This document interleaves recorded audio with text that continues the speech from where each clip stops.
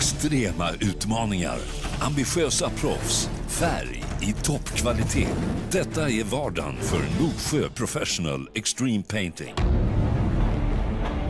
Centralstationen i Stockholm är Nordens mest trafikerade järnvägsstation. Med över 200 000 besökare varje dag. Idag kommer nymålning att göras på olika delar av stationen. Utmaningen att få allt gjort på en dag.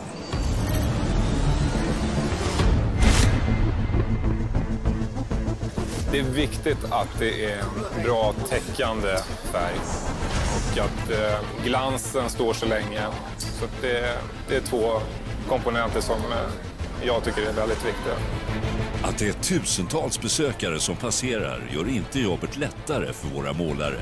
Rätt förberedelser är därför viktigt för att kunna snabbt fokusera och arbeta framåt. Professional 7 är en produkt som håller en jämn och hög kvalitet. Den har en optimal täckförmåga, en kort torktid eh, och ger ett fantastiskt slutresultat som håller under en lång period.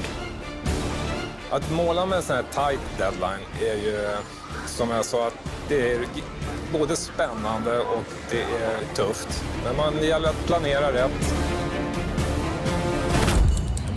Polis, kolla där!